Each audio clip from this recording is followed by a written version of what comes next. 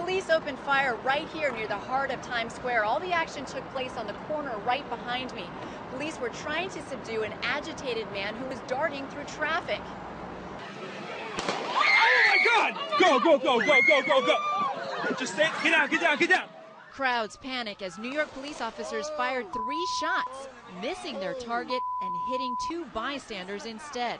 Both were women. One took a bullet in the right leg and the other was grazed in her backside. Don't shoot him no more! Witnesses say police were chasing a man who looked confused.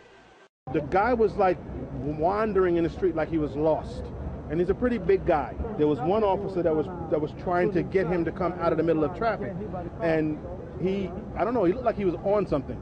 Police say it looked like the man wanted to be struck by traffic. But then they say he pretended to point a weapon at officers.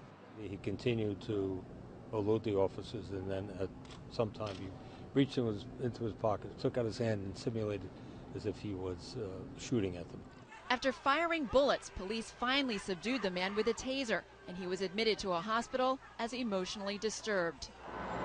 The man in question, police say he's a 35 year old man and he's facing a string of charges, including drug possession and disorderly conduct. Margaret Conley, CNN, New York.